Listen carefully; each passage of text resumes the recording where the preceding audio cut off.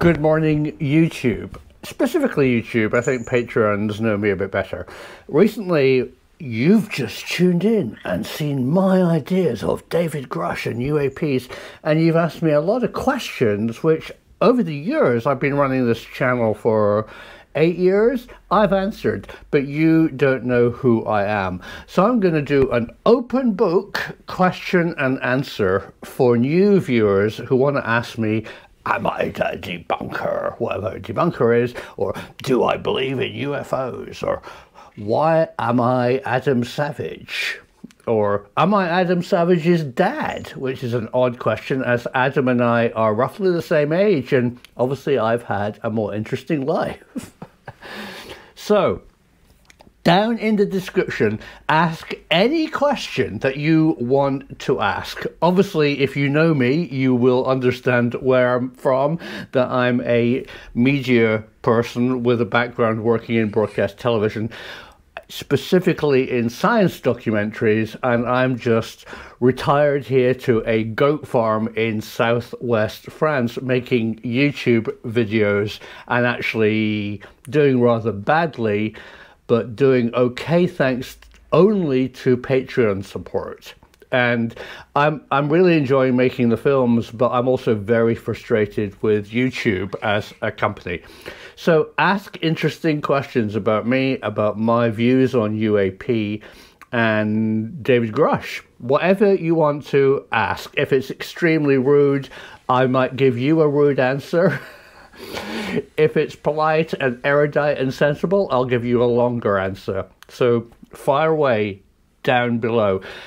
I just like to say something that give you a bit of an introduction, and it's about Rendlesham Forest.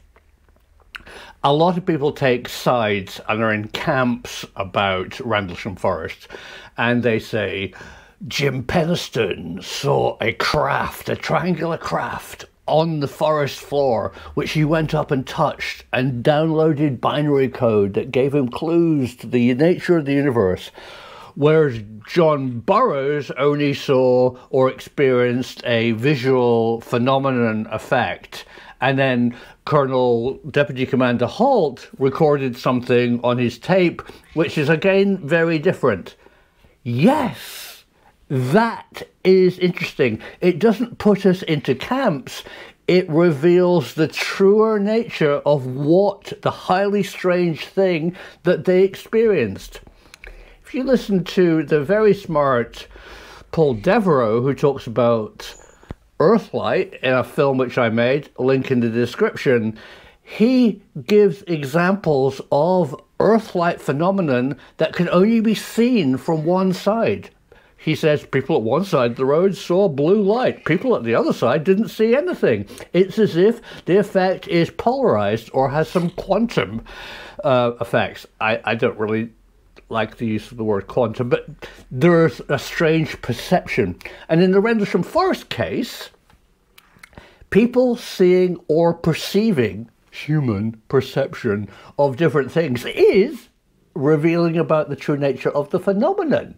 So let's not dismiss somebody who asks difficult questions.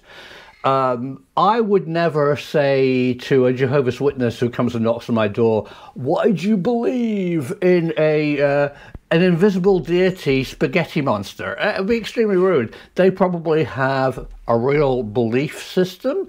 They probably have some personal experience, just as many people have had encounters with the highly strange, have seen something, and it's really helped them believe that there's stuff out there. And there is stuff out there. And that's my position. But I want to understand what it is. And I also want to understand how we as terra firma humans perceive what we see out in the universe. There's lots of strange things. There's lots of strange physics. There's lots of dimensions. Maybe things are reaching us in a way that we have difficulty in perceiving in the same way to different people. So, that's some ideas for questions and answers. Fire away. I'm really up for answering interesting, difficult, rude, or polite questions about my approach to the highly strange. Because with you and I, we can find answers The truth is out there.